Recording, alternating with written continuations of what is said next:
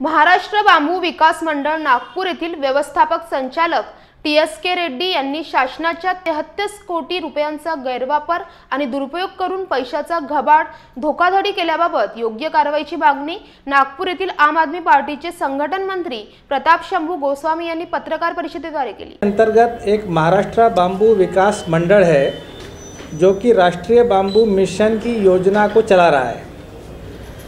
दन सन 2017 में बांबू को वन उपज की व्याख्या से बाहर निकाला गया ताकि खेती में बांबू को उगाया जा सके और बांबू पर आधारित उद्योग खड़े किए जा सके और इस माध्यम से लाखों रोज़गार पैदा करने के लिए सरकार ने राष्ट्रीय बांबू मिशन का गठन किया।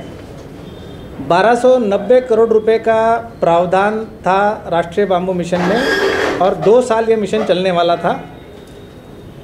फोर्टीन फाइनेंशियल कमीशन के हिसाब से। और ये साल में उसको एक्सटेंशन दिया गया है। महाराष्ट्र में सन 2018-19 में 33 करोड़ 12 लाख पिचहत्तर हज़ार रुपये का प्रावधान किया गया था। सन 2019-20 में 38 करोड़ उनपचास लाख पिचासी हज़ार का किया गया था। और ये साल में, इस फाइनेंशियल ईयर में 8 करोड़ रुपए का प्रावधान इस योजना के तहत किया गया है। अब इसमें जो निजी क्षेत्र के उद्योग हैं, उनके लिए सात करोड़ पंद्रह लाख रुपए की सब्सिडी 2018-19 में मिलनी थी और उनचालीस उद्योग इसमें उद्योगों को लाभ होने वाला था, उनचालीस उद्योगों को। और 2019-20 में 40 उद्योगों को लाभ मिलने वाला था। और 9 करोड़ पिचहत्तर लाख रुपए की सब्सिडी मिलने वाली थी। यानी कुल मिला के करीब करीब 35 करोड़ रुपए की लागत से यहाँ पे उद्योग खड़े होने वाले थे। और ये जो मैं आपको 40 और उनचालीस उद्योग यानी टो, टोटल मिला के करीब करीब 80 उद्योग जो आने वाले थे उसके अंदर दो उद्योग बायो एनर्जी एक्सट्रैक्शन के भी थे दो एक्टिवेटेड कार्बन प्रोडक्ट्स के थे और दो इथेनॉल गैसीफायर के थे जो बाम्बू पर आधारित थे। आपने कई बार हमारे जो एमएसएमई के जो मंत्री हैं, गडकरी जी के नाम, मुँह से ये सब चीज़ें सुनी होंगी, इथेनॉल, बायो सीएनजी वगैरह। तो हमें हाल ही में पता लगा कि राज्यसभा में श्री नारायण जी ने एक प्रश्न किया था कि महाराष्ट्र में 2018-19 में टारगेट पूरे बाम्बू मिशन के हुए कि नहीं?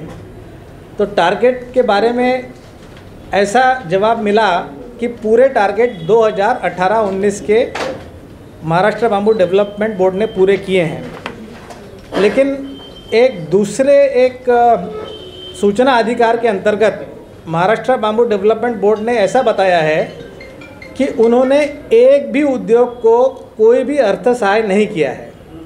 तो अब सवाल ये उठता है कि एक तरफ़ राज्यसभा में जवाब दिया जाता है कि पूरे टारगेट हो गए हैं और जो फंड यूटिलाइजेशन सर्टिफिकेट होता है वो भी दिया गया है बाम्बू बोर्ड द्वारा, नेशनल बाम्बू मिशन को और दूसरी तरफ़ वो उद्योग कहीं दिख नहीं रहे, ज़मीन पे उद्योग दिख नहीं रहे और बाम्बू बोर्ड खुद के सूचना अधिकार में बोलता है कि हमने एक भी उद्योग को अर्थसहाय नहीं किया है। तो सवाल ये उठता है कि ये पैसा गया कहाँ?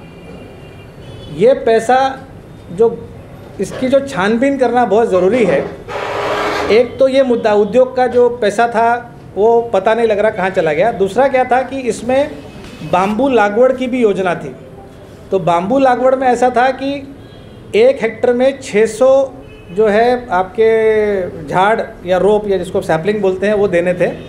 और एक लाभार्थी को पचास हज़ार रुपये तक का अनुदान मिलने वाला था। ये मैक्सिमम लिमिट थी एक लाभार्थी के लिए। और पहले लाभार्थी को रोप खरीद के, झाड़ खरीद के पहले प्लांटेशन करना था। उसके बाद उसके बिल देने थे बाम्बू बोर्ड को और बाम्बू बोर्ड को फिर डीबीटी द्वारा डायरेक्ट बेनिफिट ट्रांसफ़र द्वारा सब्सिडी का अमाउंट लाभार्थी के खाते में जमा करना था। लेकिन हुआ ऐसा कि करीब करीब सवा चार करोड़ रुपए के पौधे पच्चीस रुपए का एक पौधे के हिसाब से बाम्बू बोर्ड ने खुद ही खरीद लिया जो कि पूरी तरह से आ, स्कीम के गाइडलाइंस का वायलेशन है और एक बहुत बड़ा ये धानली है।